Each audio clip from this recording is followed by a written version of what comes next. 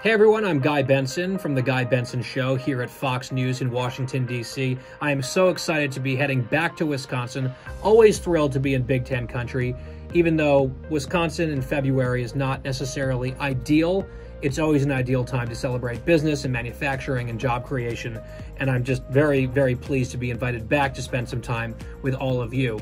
I am, as I mentioned, the host of a show here at Fox News Radio, also a Fox News contributor. My writing appears at townhall.com. And one fun fact about me that you may not know I was born, of all places, in Saudi Arabia. How did that happen? Maybe you can come and pull me aside and I'll explain uh, when I'm up in Madison.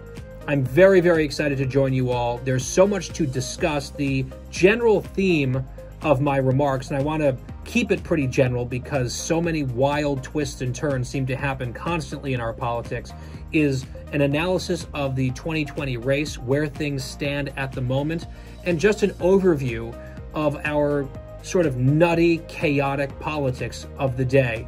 Can't wait for it. Thank you for inviting me. I'll see you in Madison.